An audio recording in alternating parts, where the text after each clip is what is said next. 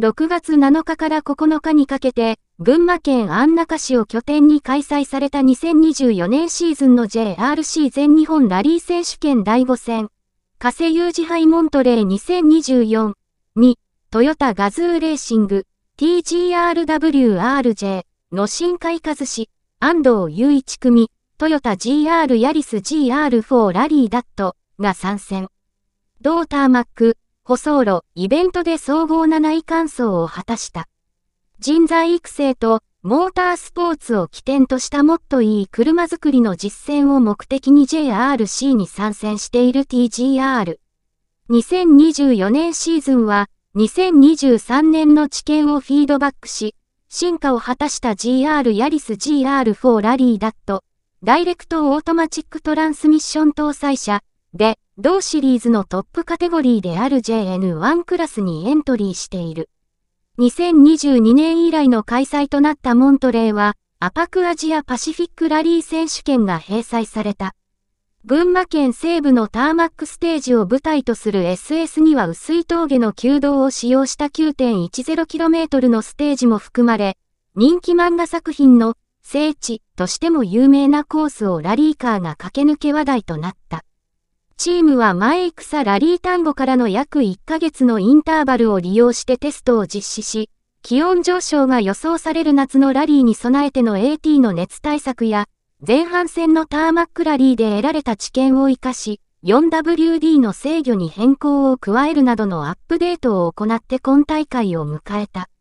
ドライコンディションとなったラリー初日、深海は足回りのセッティングとドライビングの試行錯誤を続けながらも順調なペースで走行。前半の SS では D レンジで、後半は M レンジでの走行し、AT の制御についての比較もこなしながらステージを駆け抜けていった。最終日は雨の可能性もあったが、結局雨は降らず。安定したコンディションの中、GR ヤリス GR4 ラリーダットをカルシン会は大きなトラブルもなく総合7位でフィニッシュ。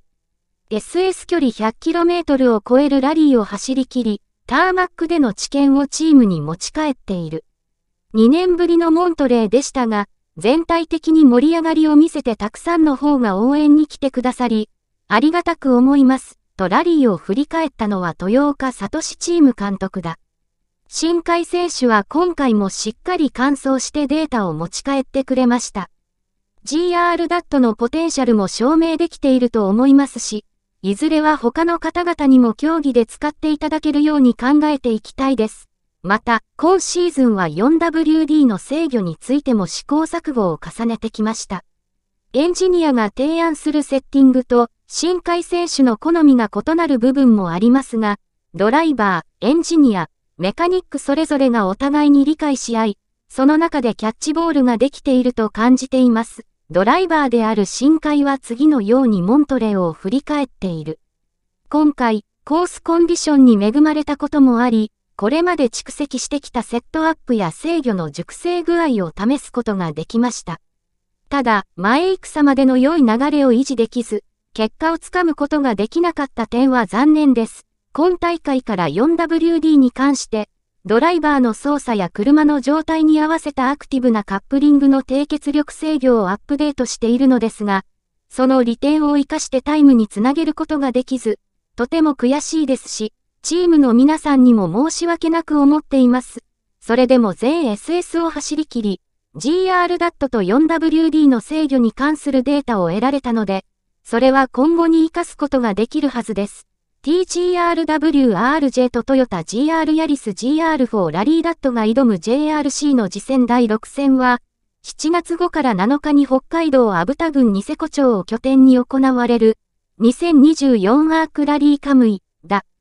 同イベントは全8戦のシーズン中、2戦のみとなるグラベル、未舗装路、ラリーの一つとなっている。